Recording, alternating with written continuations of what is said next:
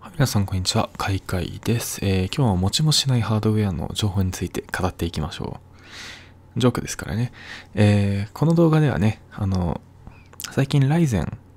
シリーズの新しい CPU いっぱい出てきて、まあ最近ってほどでもないか、ちょっと1ヶ月ぐらい前だったかな？まあ出てきて、えーその中でも、まあコスパ的に最強なのは3600、ライゼン5の3600っていう感じの結論にいろいろなレビュアーさんが至ったと思う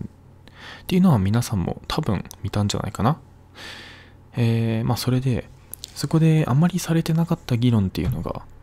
中くらいぐらいされてた議論が3600と 3600X。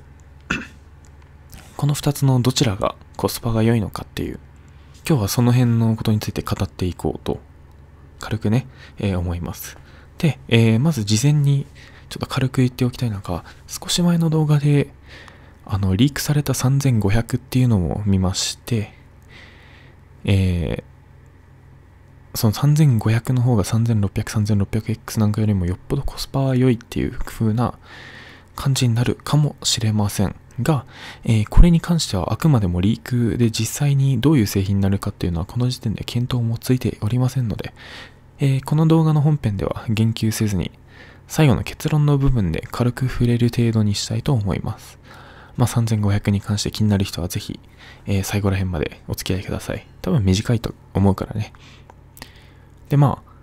えー話3600の方に戻しますけど、いろんなレビュー見てる限りでは3600の方が X 付きよりもコスパが良いっていうのは間違いなさそうなんですよね。まあ、紙の上では、ベースクロック、ブースクロックともにそれぞれ、えー 200MHz ほど違い、まあ実際に実感できる違いのようには思えるんですけど、えー実際にパフォーマンス見ていくと、せいぜいあの多くても5%の違い、多くの場合は1%程度の違いもしくは違わない。っていう感じで、えー25%の差、これ200ドルのやつと200 250ドルのやつですからね、この25%の値段の違いっていうのは、その価値は絶対にないっていう結論が出てきてしまってるんですよね。まあそれも、ライゼンにあるこの自動オーバークロッキング機能かなこういうのがあるおかげとも言えるし、正とも言えるけど、えおかげなんですよね。えーだけど、ここで一つ忘れちゃいけないことがありまして、えー多くの場合、ベンチマークっていうのはね、あの、あらゆるボトルネックを消すために、CPU についてくるクーラーっていうのは使わなくて、パフォーマンスの高い AIO とか使うんですよね。え AIO だったら確実に冷却できるっていうことが分かってますので。で、えーここで思うのが、もしかしてチップ自体っていうのは、確かに 200MHz の違いはあるけど、実際はほぼ同じで、この値段の違いっていうのはクーラーの違いから来てるんじゃなかろうかっていうことなんですよね。えーで、私自身ね、別に大手のレビュアーとかそういうわけじゃないですし、えーまだ自作 PC を作ったことないような身ですので、えーチップを持ってるわけでもないんですけど、上で言ったような疑問を持って検証した人がいらっしゃったので、えーその人のデータを軽く見ていきたいと思います。もちろんね、あの、データの投用とかにはしたくないので、えー動画を丸々持ってきたり、あの動画の内容を丸々持ってきたりするのではなく、まあ、大まかに、大体こういう感じだったよっていうふうに押さえていく感じにしようと思いますが、えー一応、英語でやられらやられているチャンネルですが、その元々の動画とか気になる場合や、説明文にその人のチャンネルを、チャンネルじゃない、動画かな？動画を直接リンクしておきますので、えーぜひそちらからご確認ください。じゃあ、そこまでいったところで、えー見ていきましょう、情報の方。まあ結論から言うと、えー3600のクーラーっていうのは 3600X に劣っております。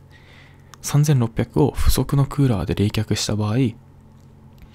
パフォーマンスの高いクーラーを利用した場合と比べてパフォーマンスは低下していました。ということは、えー 3600X っていう 3600X は50ドル高いですけど、このパフォーマンス高いクーラー、パフォーマンスが高い付属のクーラーに50ドルの価値があれば、この 3600X の値段の差っていうのは正当化されるんですけど、えーこれまた結論から言うと正当化はされないんですよね。えー、Amazon とかニューエッグでこの2つのチップの値段の差である50ドルあたりの後付けの CPU クーラーっていうのを見ていくと 3600X に付属しているクーラーよりもずっといいクーラーが買えますし、えー、場合によってはなんかね安い AIO の水冷機なんかも買えるみたいなんですよね、えー、さらに 3600X についてくるのはまあ一つしか選択肢がないですけどえー、これに対して後付けで購入する場合は選択肢かなり多いんですよね。まあ、例えばちっちゃいビルドやりたいからちっちゃいクーラー買うとか、えー、もうがっつりでっかいビルドやりたいからこう100、120、240ミリの AI を購入するとかそういうこともできますので、まあ、240ミリの AI をつける理由なんてないんだけど。っていう風で、えー、選択肢はかなり変わってきますので、えー、その辺の自由度とかも変わってきますね。はい、じゃあ、締めに入りましょうか。えー、大まかな結論は相変わらずで 3600X 買う意味ないです。えー、3600買った方がずっとコスパはいいし、いいですけど、付属のクーラーでは、あの、なかなか引き出せないパフォーマンスっていうのもあるので、まあ、なんて言うんでしょう。100W ぐらいかな。その辺の TDP あたりの安い CPU クーラーを別で購入して買うの、使うのが良さそうです。ただし、えー、この別で買う安い CPU クーラーが50ドルを超えた場合は、あの、X 買った方がマシになってしまいますので、そこはご注意を。それ、それと、えー、3500に関してですね、ここはさっきも言った通り、リークであまり確定情報ではないので、軽く言及する感じになりますけど、え、3500に関して、えー、これ、どれほどチップの品質が下がっているかによるんですよね。例えば、クロック数が3600と比べて 200MHz 低下していて、まあ、値段が150ドルなんかになってた場合は買う価値があるかもしれません。50ドルの違いっていうのは結構大きいですからね。ただ、その場合でも3600についてくるよりも低品質なクーラーがついてきた場合は、あの3600と全く同じ問題が出てきてしまって、冷却しきれない問題っていうのが出てくる可能性もあるので、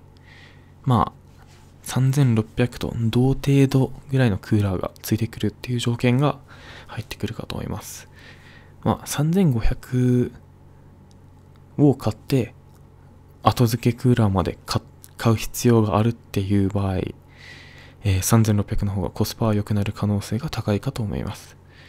まあ、いろいろ情報が出るまで待ちましょう。リグの悪いとこですね。えー、さて、不定期ではございますが、えー、面白いネタあったらすぐ動画にしますし、特にあの、コンピュテックスとかそういう大きなイベントあると、すごい勢いで私も動画ひねり出しますんで、今回の動画面白いと思っていただいて、えー、また別の機会にこいつの別の動画も見てなって思っていただけたら、えー、高評価とチャンネル登録をよろしくお願いします。それと、なんかハードウェアに関する質問とか、この単語わかんないとか、この略称の意味を教えてくれとか、そういうのあれば、わかりやすく、なるべくわかりやすくまとめて動画にしますので、えー、ぜひコメントの方にお願いします。さて、今回はここまでです。ご視聴ありがとうございました。